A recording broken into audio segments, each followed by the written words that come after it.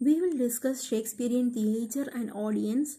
In order to appreciate Shakespeare's work properly, it is essential for us to know, have a knowledge about the Elizabethan theatre and the limitations that they had. As Shakespeare was an actor before being a dramatist, he had a thorough knowledge of stagecraft. Typical Elizabethan theatre was a wooden structure, hexagonal in shape outside and round within. There were pit for groundlings and galleries for other people who paid. The Elizabethan stage can be divided into four parts. The fir- first part being the front part, front stage, which is projected to the auditorium, which uh, where the scenes of open space are being used, like garden, battles, etc. There is backstage behind the pillars, where the covered uh, scenes like um, office, palace, etc. are being shown.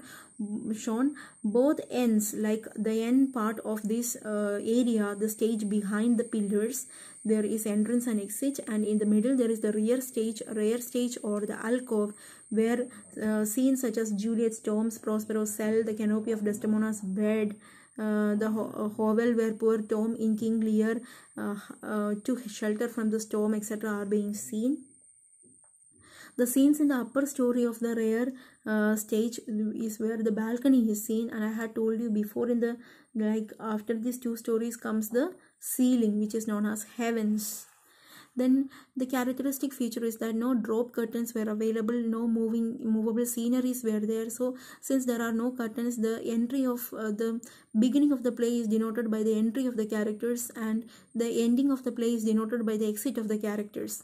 Each stage had to be cleared after every scene and therefore the writers had to write accordingly involving some um, relaxation of tensions such kind of uh, scenes in between after every crisis there were the absence of painted scenery but shakespeare managed to write it in his uh, uh, which elevated his style elevated his poetic style po- elevated his poetic description. So elizabethan stage also had uh, very richness in stage properties. Common properties of elizabethan stage were uh, chairs tables artificial trees beds thrones etc chairs and uh, tables symbolizing office room throne symbolizing king's palace few trees symbolizing forest. Money was spent lavishly on costumes. No actresses were there. Boys were dressed as actress actresses and the audience were very crude and refined. Some uh, they come either for a good laugh or to see bloodshed and violence. There were frequent appearances of crowd of clown and fools. The audience craved for noise outcry poem show etc they believed in ghosts witches and supernatural powers and they were quite superstitious regarding Shakespeare's concept of tragedy, the tra- the theme of all the tragedies were the struggles between good and evil. There were the tragic flaw, which we discussed as hamartia, and uh, there there is also the concept of tragic waste. Like all the exceptionality that the hero is being given, it is it has all gone waste. Uh, in the tragedy, the sources of tra- tragedy were character and destiny the complicating factors were either abnormal conditions of the mind or the supernatural features and chance also played an important part there were two types of conflicts external and internal. External including the battles and internal meaning the struggles of the mind. Catharsis the word catharsis we already know. It is the purging of emotions of self-pity and terror.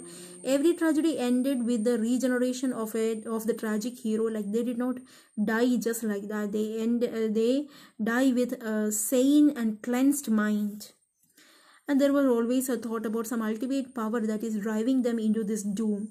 The style of shakespeare. Shakespeare in the beginning he began by writing imitate imitating. Later in the mature style he became like a natural and straightforward writer. There were no attempt of theatrical effects no trickeries no fineries etc he wrote with perfect ease and confidence. His language is always very simplest. He tried to use everyday speech then he coined many words like we know that he has already coined 1700 words. He his other characteristics is the apt use of words that he use. He suits the word to action and the action to the words. Shakespeare is one of the most quotable of english writers. He, he has an inspired ima- imagery. He has the use usage of metaphors also becomes a characteristic features of feature of shakespeare's writings then there is always a pictorial quality in his style I hope uh, this detailed note of Shakespeare is very clear to you. Thank you.